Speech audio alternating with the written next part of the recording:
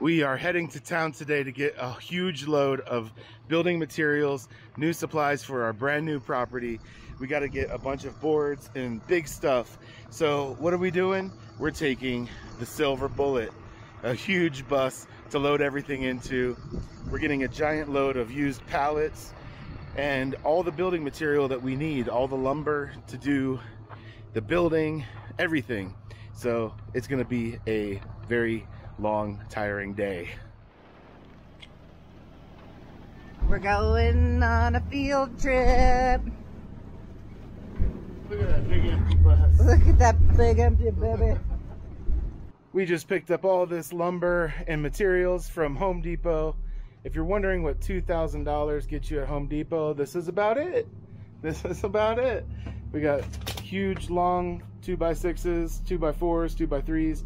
We got all of this OSB for flooring. We got siding for the outside panels. And then over here, we have roof panels and a little bit of clear polycarbonate stuff to close the roof in. And then we got a little bit more stuff up here. We got a little bit of concrete, some chainsaw action, painting stuff, little random shit, but All the screws. that's it. Fasteners, yep. All right, time for the next stop. Let's start with the small stuff here. We got a Ryobi 40 volt snow blower. We probably won't need it, but I mostly bought it for the battery and the quick charger since we just got a Ryobi chainsaw and a Ryobi, Ryobi uh, string trimmer. And then this is the rest of our score today. Huge amount of stuff in the bus. We got a 16 foot gate, 50 pallets. This is going to be building our shed, and uh, that's what all this lumber is going to be going on is our storage shed slash solar shed, powerhouse, maybe plumbing. Um, it's going to be a bunch of things like that. But we packed this bus pretty pretty full. We can't get much more in here if we um, unless we went on top of the pallets. But uh, I'm stoked we're all done. We're gonna go out to eat to celebrate being finished with all this wackiness. Hey, Pa. Hey, What you doing? We're moving the bread truck onto our new land. This is it, right out the window. We got a new driveway we just put in.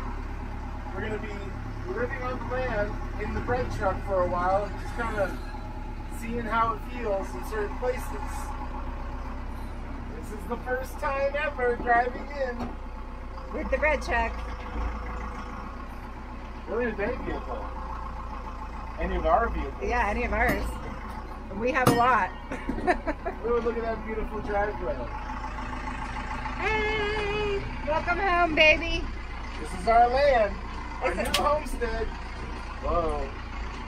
We didn't really put things away because we're only moving a half a mile. Hopefully, we don't hear any major crashes in the back. Nah. It'll be good. So we just made this driveway by driving on it a bunch of times with the big bus. And I'll be uh, pulling into the spot where we propose to put a cabin in uh, the next uh, year, in the next year or so. So we're gonna be doing a lot of building soon.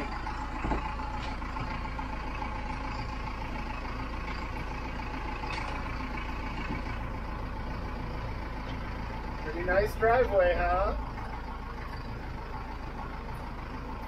Hey, I know that tree. Yep, that's the one from over there. I forgot you haven't seen it since we moved stuff. No. Which way? So we drove the bus back there. I, would've- I think we'll go the same direction.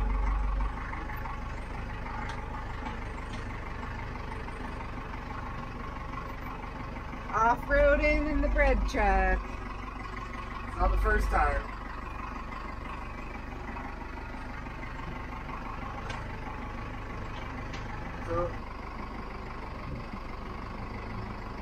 There's our the bus, our friend's bus full of all our building materials for the shed. we're gonna be emptying it all off right here. The shed's going pretty much where the bread truck's at right now. Driving over the flags for it. Yeah, I don't know if you can see the little flags on this. Okay, so Look at that, baby. Our first leveling the truck experience at our new property, and we didn't even fight about it. Forgive me for the things I said while we were leveling the truck. so now I can go far to the left side. so that's where we're possibly going to build the cabin someday. I love this. I love facing this way. I think that's pretty good. Makes sense to me. That feels pretty level. Yeah. Hey there, farmer. Hey there, partner. Howdy, ma'am. I uh, we got the bread truck in here.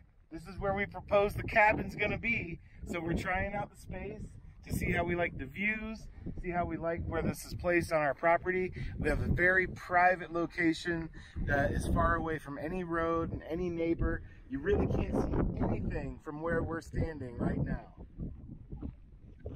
The way we plotted out our driveway and our walkways, they all have a nice curve to them, a nice twist, so that there's not a straight shot out to any road so you can look right down our driveway and see you know our house and our all of our equipment whatever it is. So um yeah i love it. The bread truck looks great over there doesn't it? It sure does.